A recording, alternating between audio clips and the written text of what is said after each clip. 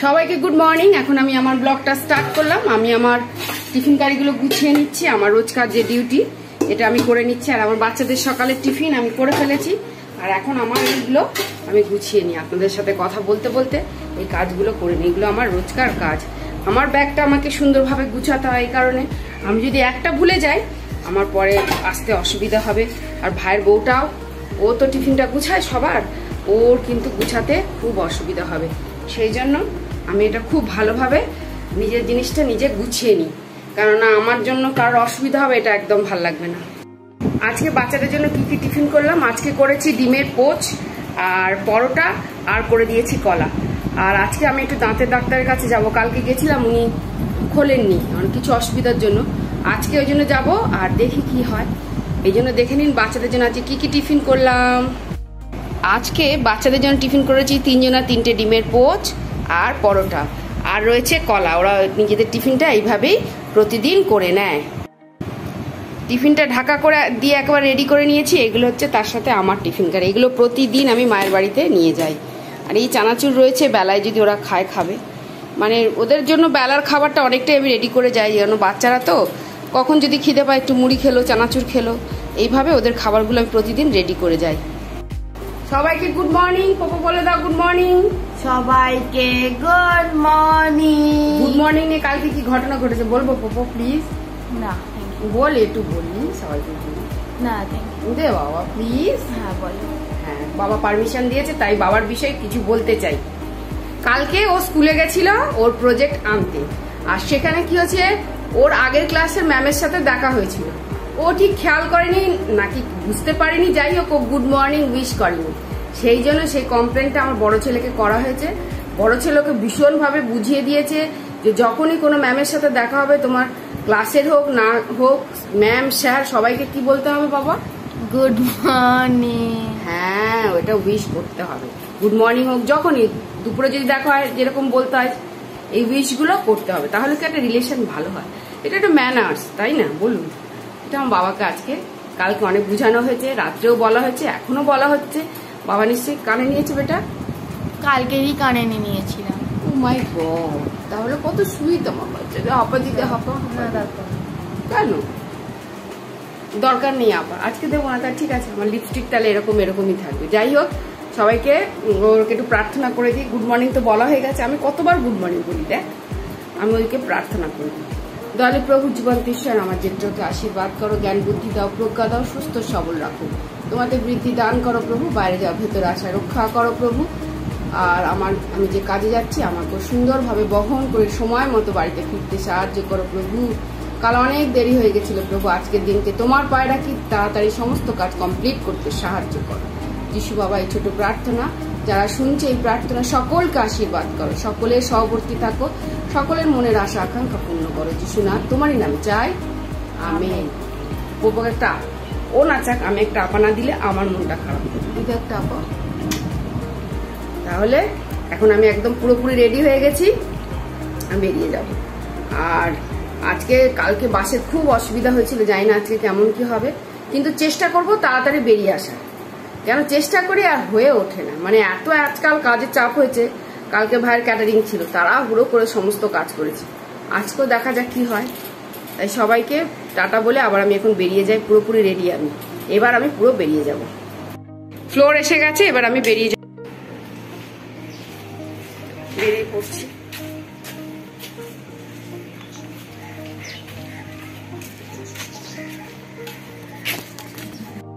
রাস্তায় যেতে একটা বড় মসজিদ পড়ে।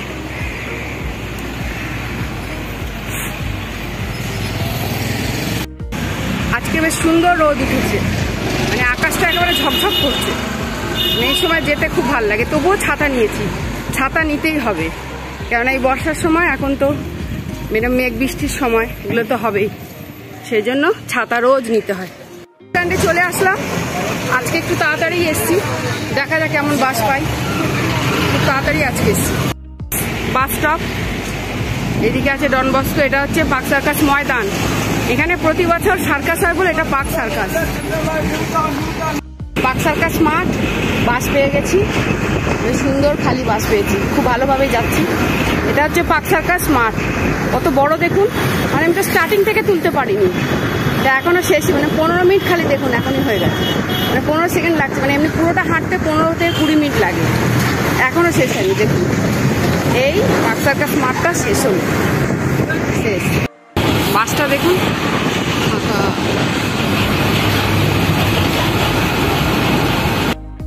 এটা টেকনোপলিস, চলে এসেছি। এখন হাঁটবো। আর, টেকনোপলিস অনেকটা আগে নামিয়ে দিয়েছে। বাসটা মানে এত দূরে নামিয়েছে, আরও মানে সাত মিনিট হাঁটা বেড়ে গেল।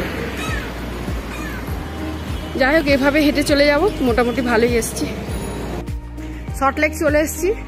এবার ওই এল পার্কের কাছে একটু যাব, তারপরে সোজা বাড়ি হাঁটা দেবো। আজকে আর কোথাও দাঁড়াতে বসতে মনে হচ্ছে পারব না। একদম অনেকটা টাইম চলে গেছে আজকে। বাসটা পেয়েছিলাম ঠিক, কিন্তু এত লেট লেট করে গাড়িটা চালাচ্ছিল, যার জন্য অনেকটা দেরি হয়ে গেছে। পার্কের ভেতর দিয়ে গেলে একটু শর্টকাটও হয়, একটু হাঁটাও হয় ভালো। আর এমনি তো শর্ট শর্টলেক সবসময় ফাঁকা। দেখুন পার্কের লোকজন সেরকম একদম নেই। দু মিনিট বসে গেলে ভালোই লাগে। আর একটু টাইম আছে, বসে যাই। ভালো লাগে একটু বসে যেতে। হাওয়া, বাতাস, একদম ফ্রেশ দেখুন একদম লোকজন কম। একদম নেই। ফাঁকা ফাঁকা বসতে ভালো লাগে। একটু দু মিনিট হাঁপিয়ে যাই তো অতটা হেঁটে আসি। এখানে বসলে একটু ভালোই লাগে, খুব ভালো লাগে। পার্কে বসে আছি, সুন্দর ঠান্ডা একটু হাওয়া ছেড়েছে। মানে খুব ভালো লাগছে। একদম ফাঁকা, দেখুন। হাওয়ায় হাওয়া। আহ, প্রাণ ভরে যাচ্ছে, একদম ঠান্ডা হাওয়া আসছে। রান্নাঘরে ঢোকা, আমি তো রান্নাঘরে তিন চার ঘণ্টা বসেই থাকি। মানে জীবনের অর্ধেক সময়টাই রান্নাঘরেই কেটে যায়। রান্নাঘরে বসলে হয় কি বলুন তো, বাইরে আর বেরোনো যায় না তো। আর আমাদের যেহেতু সিঁড়ির নিচে রান্নাঘর দরজার জন্য বন্ধ রাখতে হয়। কেন প্রচণ্ড হাওয়া যদি ঝড় হয়, তাহলে সবসময় দেবে গ্যাসটা নিভে যায়। সেই জন্য অনেক সময় দরজাটাও বন্ধ করে দিতে হয়। আর ভাড়াটেরা আসে, যায়, খুব অসুবিধা হয়। সেই জন্য রান্নাঘরে ঢুকে যাওয়ার আগে একটু বসে নিই, ভালো লাগে। আমাদের তো ঘরে ইয়েতেও, ইয়েও নেই মানে কি বলে, চিমনি নেই। পরে কিন্তু লাংসের অসুবিধা হতে পারে আমার। তাই জন্য একটু বসলে বাইরে ভালোই লাগে। চার পাঁচ ঘণ্টা রান্নাঘরেই কেটে যায়। এই ধরুন নটায় ঢুকবো, বেরোবো একটায়। হাট থেকে বেরিয়ে যাচ্ছি। বেশ অনেকক্ষণ বসলাম, ভালোই লাগল। অনেক মানে পাঁচ সাত মিনিট। বসলে একটু ভালোই লাগে। পাটা, কোমরটা ছাড়ালাম। এবার হেঁটে হেঁটে চলে যাব বাড়ি। গিয়ে রান্না বান্না স্টার্ট আর কি। শর্টলেক শর্টলেক এমন জায়গা এখানে খালি আপনি এত কাজ, গাছ দেখতে পারবেন। সবুজ আর সবুজ খালি। মানে প্রত্যেকের বাড়িতে দেখবেন অল্প অল্প করে সবুজ অংশ রয়েছে। মানে গ্রিনটা এখানে খুব দেখা যায়, খুব দেখা যায়। দেখুন, কত সুন্দর। মানে রোজ এখান থেকে যাই, দিদি সবজি দেখি কিনতে খুব ইচ্ছা করে। মা তো রোজ বাজার করে কিন্তু আজকে আমি কিনলাম। এটা শোলা কচু বলে, এটাকে দেখি আর খুব ইচ্ছা হয়। আজকে দেখি কেমন লাগে, তাই একটা শোলা কচু নিলাম। এইগুলোকে শোলা কচু বলে, বা কি কচু বলে দিদি? ভোট কচু। হ্যাঁ এই ভোট কচু বা এই শোলা কচু একটা নিলাম। দেখি এটা কেমন খেতে হয়। একটু কিটায় বলে, কিন্তু এটা রান্নার পদ্ধতি আছে। এটাকে ভাজা বা চচ্চড়ি করে খাওয়া যায়। চিংড়ি মাছ দিয়ে করব, দেখি কেমন লাগে। এখানে অনেক রকমের সবজি আছে, আর সব থেকে মেন ব্যাপার হচ্ছে তাল এসে গেছে। তাল উঠেছে, কিন্তু দেখে লোভ লাগছে, কিন্তু ওটাকে নিয়ে যাওয়া একটা ব্যাপার। যাই হোক, ওটা তো খেতেই হবে। একটু সময় নিয়ে একটু পরে নয়, নিয়ে যাওয়া যাবে। যাই হোক, যেতে যেতে একটু বাজার করে নিলাম। আর এখন গিয়ে একবার সরাসরি রান্নায় বসে যাব। এখানেও দেখতে একটু মাছের বাজার বসেছে, মাছ বসেছে। কি মাছ? এটা? কই মাছ? তো বড় ফের জানতে অবস্থা হুম কত করে?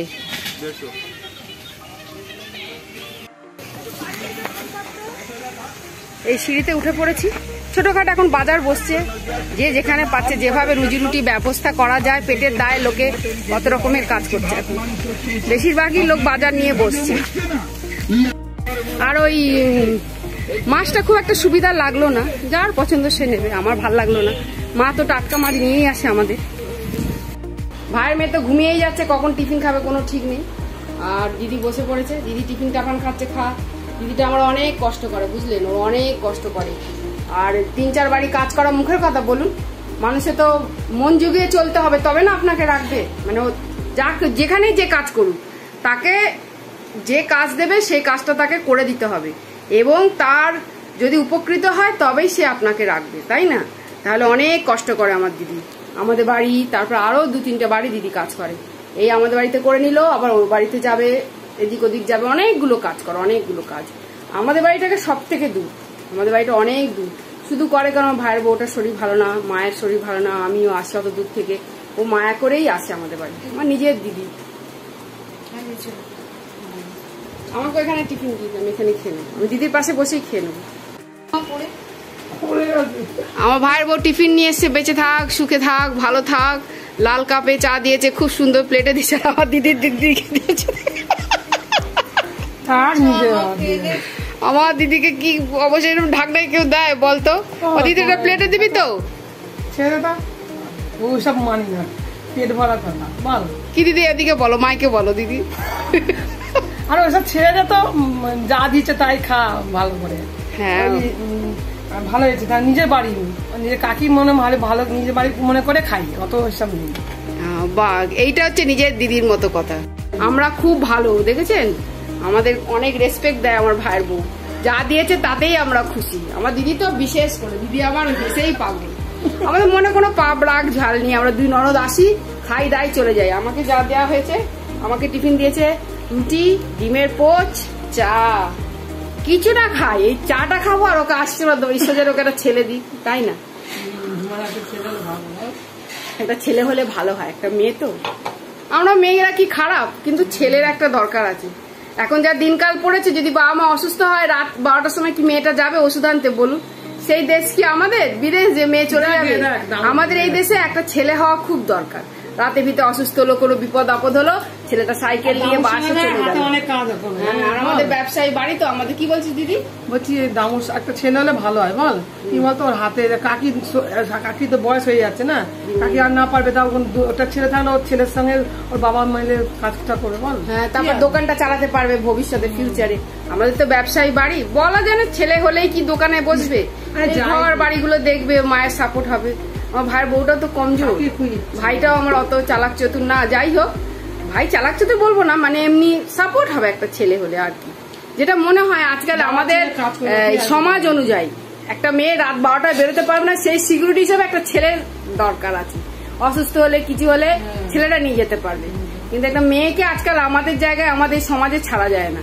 কোনো মেয়ে কিন্তু সুরক্ষিত নয় আমাদের দেশে ভালোভাবে ভেবে দেখতে গেলে। যাই হোক অনেক বক্তৃতা হয়ে গেছে ঠান্ডা হয়ে যাবে। ঘর থেকে বার করে দিতে বলেছি আমার রেগে গেছে আমার ছেলেকে ফের বিয়ে দিবি। দিদি টিফিন খাওয়া হয়ে যাচ্ছে দিদি এখন মাস্কই খুঁজে পাচ্ছে না বাড়ি যাবে। পেয়েছিস? কোথায় রাখলি দেখ মাস্ক ছাড়া তো যাওয়া যাবে না। দিদি বাই সবাইকে বলছি। হ্যাঁ সাবধানে যা আর একটু দেখে নে কোথাও যদি পেয়ে যাস। হ্যাঁ রেখে দেবে জেটিকে দিয়ে দেবে। হ্যাঁ কি করতে? বাচ্চাকে বাচ্চাকে ইঞ্জেকশন নিতে হবে তখন দেখব যদি ধুমা যদি হয়ে যায় ধুমা যদি পেয়ে থাকি আমি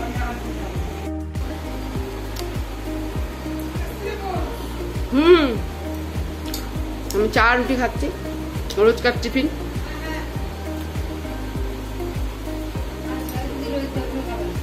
হুম।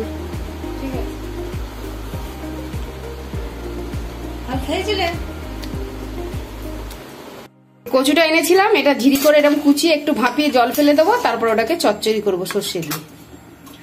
কে চেচে কুচু পাচ্ছে এসছে আমি ছাড়াই দেবো আমি আয়। আয় যে বাজারে এসে গেছে চিকেন এসছে চিকেন আর চিংড়ি মাছ।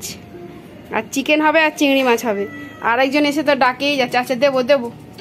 কি হয়েছে কি হয়েছে? আচ্ছা চলে আছো চলে আছো আয় আয়। চলে আছো চলে আছো চলে আছো। ও এতক্ষণ ভয়ে ভয়ে পালাচ্ছিল, কিন্তু এখন আজকে খাবার পেয়ে আবার ঠিক টাইমে চলে এসছে। খাও। এই চিংড়ি মাছের এই খোলাগুলো ভালো খায়। এই ওর মা এসে গেছে। মা ওখান থেকে টার্গেট করছে। আবার ছাড়াই, আবার দেবো। আবার ছাড়াই তোকেও দেবো। ওর মায়ের জন্য অত বাঁচতে হয় না। ওর জন্য কি হয়, বেছে একটু ছোট করতে হয়। ও অত বড় খেতে পারে না। দেবো দেবো, দুজনকে আবার দেবো। দাঁড়া, পরিষ্কার করি। দেবো একদম ল্যাজ উঁচু করে ঘোরে। টাইগার! আবার দেবো, দাঁড়া, দে রে, দেবো দেবো। ওর মা তো শুয়ে পড়েছে, ও আবার কোথায় যাচ্ছে? দেবো। মা বলে বাচ্চার খাওয়া দেখছে, কিন্তু অন্য বিড়াল হলে এতক্ষণ এসে কামড়া কামড়ি শুরু করে দিত। শুধু মা বলে ও খাচ্ছে, কিন্তু ওর মা কিচ্ছু বলছে না। জান আমার বাচ্চাটা খাচ্ছে। সেই জন্য কিচ্ছু বলছে না।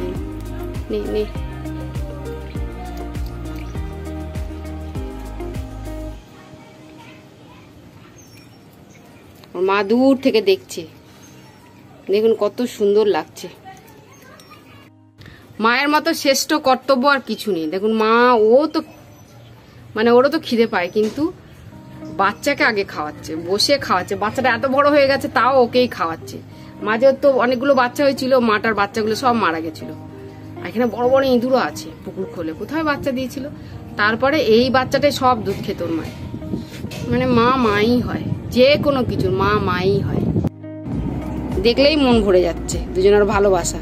ওর মা বসে দেখেই যাচ্ছে এইনি বাবু খেয়েই যাচ্ছেন। এই লাফিয়ে উঠবে, এই। আর ওইখান থেকে বসবে।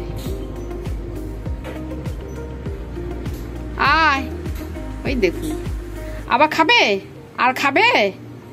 এখন ডাকলেই সাড়া দেয়। কদিন এত মাকে কামড়েছে ভয়ে আসতো না। মুখ পরিষ্কার করে নিচ্ছে। পুরো টাইগার লাগছে বেবি টাইগার আমাদের রান্না বান্না কমপ্লিট ভাইয়ের বউ হাতা খুন্তি নিয়ে রেডি খাবার বাড়ছে। দেখুন আজকে কি কি রান্না হলো আমাদের। চলুন আমার সাথে সাথে আসুন, দেখুন কি কি রান্না করেছি আর কীভাবে আমার ভাইয়ের বউ সার্ভ করছে। সবাইকে। আজকের আমাদের রেসিপি আলু মাখা এটা হচ্ছে ভোট কচু ভাজা। আর এটা হচ্ছে আলু দিয়ে মাংসের ঝোল। এটা হয়েছে ডাল দেখুন ডাল হয়েছে। আর ওদিকে হয়েছে উচ্ছে আলু ভাজা আর প্লেন রাইস আজকে কটা হোম ডেলিভারি যাচ্ছে? ছটা। জোরে বলো। ছয়। ছটা হোম ডেলিভারি যাচ্ছে। এবার বসে বসে এগুলো গুছিয়ে ফেলবে নে গুছিয়ে নে। ছটা হোম ডেলিভারি যাচ্ছে। ও গুছাক আমি আমার রান্নাঘরের কাজগুলো করে ফেলি। দিদি এসছে এবার আমি চলে যাচ্ছি। দিদি আর বাচ্চারা যাবে এখন পোলিও নিতে। বাচ্চারা আজকে পোলিওর ডেট বাচ্চা আর দিদি সব যাবে। আমি রেডি হয়ে গেছি আমি বেরিয়ে যাচ্ছি। এখন বাচ্চারা যাবে পোলিও নিতে। বউ বাচ্চা সব যাবে আমি কাপড় চোপড় মোটামুটি তুলে দিয়েছি।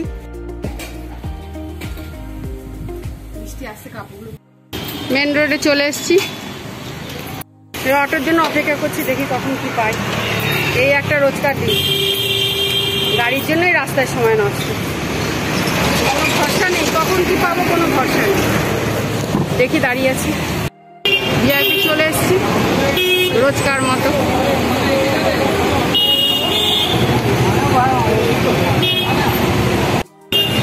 বাসের জন্য অপেক্ষা করছি। ভিআইপি চলে এসেছি রোজকার মতো, দেখা যাক কেমন বাস গাড়ি পাই। কেষ্টপুর খালের ধার।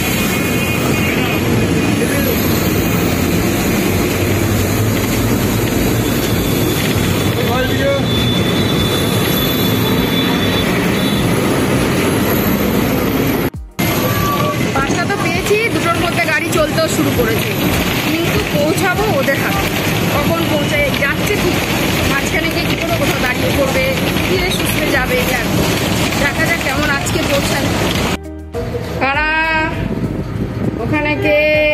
চলো। এসে গেছি। দাঁড়া বাবা। মামা, ধরো, ব্যাগ ধরো। চলো। চলো। চলে এসছি বাড়ি। হাত পা স্যানিটাইজ করব, তারপরে বাচ্চাদের ভাত বেড়ে দেবো। আজকেও বাসটা এসছে ওই এক ঘণ্টার ওপরেই টাইম নিয়েছে। পুরো দুটোর সময় উঠেছে, এই তো পুরো।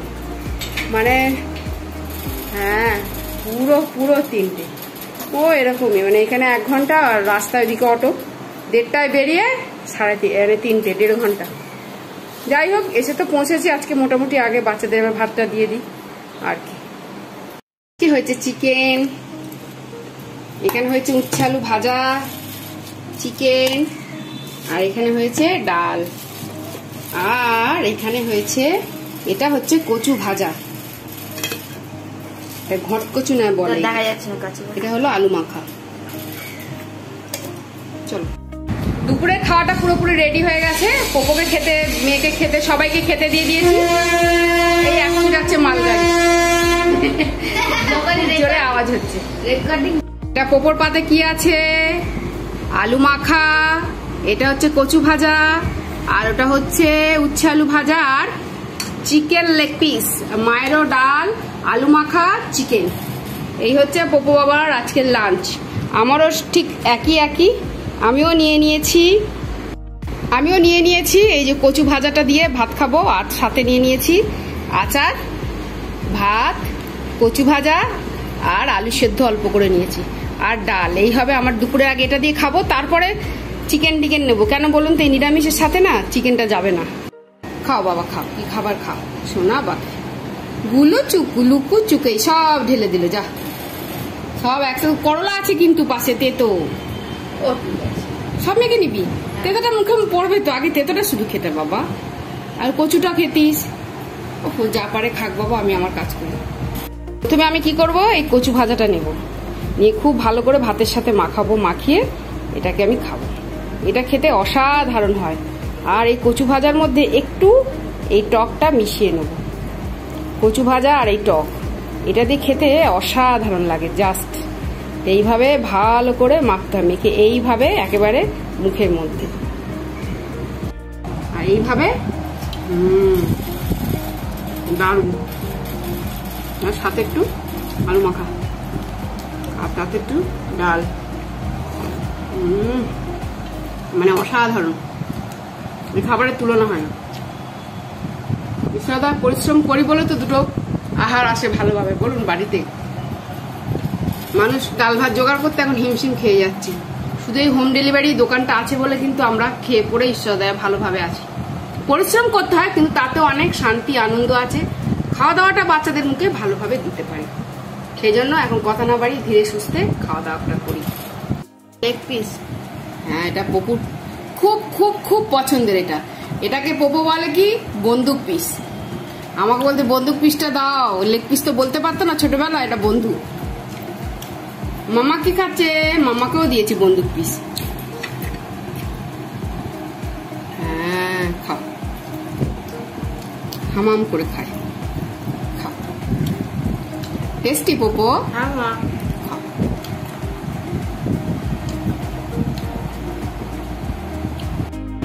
এখন সন্ধেবেলা, বাচ্চারা পড়তে বসে গেছে, আর মেয়ে নিজের ওয়াক করছে আর পোপো কি করছে? নিজেরও কাজ করছে। ওরাও, ও নিজের কিছু কাজ করছে ফোনে ফোনটা হচ্ছে বিশেষ কাজের জিনিস। কি হয় বলুন তো? পড়াও হয়, তার সাথে গেমও খেলা হয়। মানে খুব কাজের জিনিস। বাচ্চাদের এখন এটা হয়েছে ভীষণ কাজের ইম্পর্টেন্ট জিনিস। যখন গেম খেলা হয়, খেলছে, তখন যদি বলেন, ওরা একটু পড়াটা দেখছি। তাহলে কিছু বলা যাবে না। সেই জন্য আমার মেয়ে কিন্তু রিয়েলি বসে পড়ছে। আর এদিকে দেখুন, শুনছে, কথা শুনছে। কেউ শুনছে আমার কথা। টুকি মেরে শুনছে, টুকি মেরে শুনছে। এটা এটা কি ঠিক হচ্ছে, পোপো? ওরকম করিস না। বেরিয়ে আয় বেরিয়ে আয়। যাই হোক বেরোবে না। আমার মেয়ে কি করছে দেখুন। মামা যান, আমার মামা যান। প করছে আমার মামা যান। পড়ছে পড়ছে পড়ছে। কি পড়ছে আমার মামা? কি লিখছে ম্যাথস সামস করছি হ্যাঁ কি করছ? ম্যাথসের সামস করছি। ওকে বাবা? আমি সামস করব। করো। দুজন মিলে পড়া করো। Good girl good boy AC on হয়ে গেছে। মেয়ে তো একেবারে মুড়ি সুড়ি দিয়ে একেবারে শুয়ে পড়েছে। মাম্মা বাচ্চা আর পাপা দেখুন ফোন ঘাটছিল। এখানে ডার্ক সার্কেল পড়ে যাচ্ছে। ঘুমায় না ঘুমায় না। ওটো ওটো গুড নাইট বলতে পারতো গুড নাইট আর মা?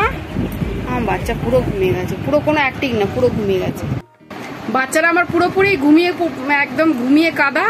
আমি ওই ওল চিংড়ি রান্না করছি, চ্যানেলে দেব বলে।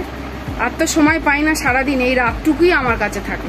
তাই এখন এগারোটা বেজে গেছে, আমি রান্নাটা করছি। আর আমি আপনাদের ওদের হয়ে বলে দিচ্ছি, গুড নাইট।